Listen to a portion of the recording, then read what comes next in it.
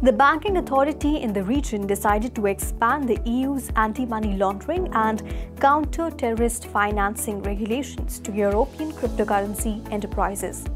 The updated rules, according to a statement from the European Banking Authority on Jan 16, are intended to assist crypto asset service providers in determining how exposed they are to financial crimes because of their customers, products, delivery channels, and geographical locations.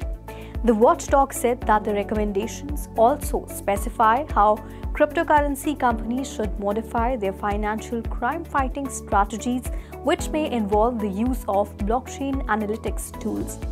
While the rules will take effect on December 30, the European Bar Association asserted that most recent changes harmonize the approach for cryptocurrency companies throughout the Union to reduce money laundering and funding of terrorism and represent an important step forward in the EU's fight against financial crime. The updated guidelines will add cryptocurrency and crypto company specific risks and guidance to financial firms that hold cryptocurrencies or serve crypto firms. MiCA's crypto investor protections are set to come into effect in December, but EU member states can optionally implement an 18 month transitional period for CASPs, allowing them to operate unlicensed. According to information from blockchain analytics firm Arkham Intelligence, the Grayscale Bitcoin Trust sent 8,730 Bitcoin valued more than $376 million to Coinbase Prime deposit addresses on January 16th. The transactions suggest that when the fund's share price dropped, it could have been obliged to sell off some of the Bitcoin holdings. A few observers have contended that the recent decrease in Bitcoin's price might be largely attributed to withdrawals from the trust.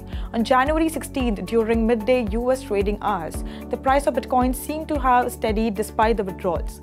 One of the biggest individual Bitcoin holders in the world is Grayscale Bitcoin Trust. The majority of fund participants were unable to exchange their shares for Bitcoin or cash equivalents prior to January 11th. However, the trust was changed to an exchange traded fund on January 11th.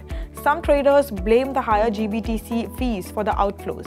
GBTC charges 1.5% management fees, which critics say it's higher than most of its competitors.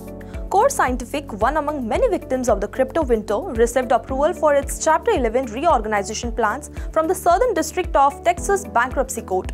The Bitcoin miners expects to relist its shares on Nasdaq by the end of this month.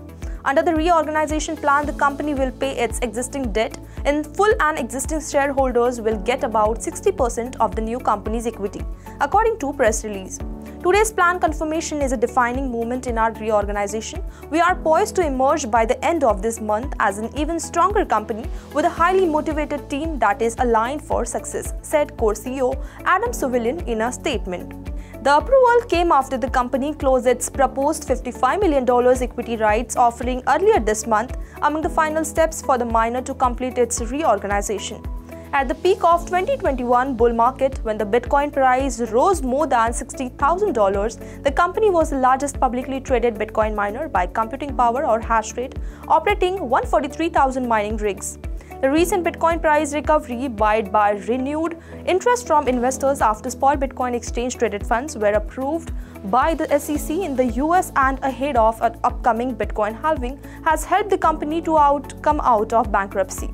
The miner expects to keep its pole position among peers when it emerges from its bankruptcy, according to a recent presentation anticipating 182,000 mining rigs from its own operation this year and ramping those up to almost 1.1 million in 2027.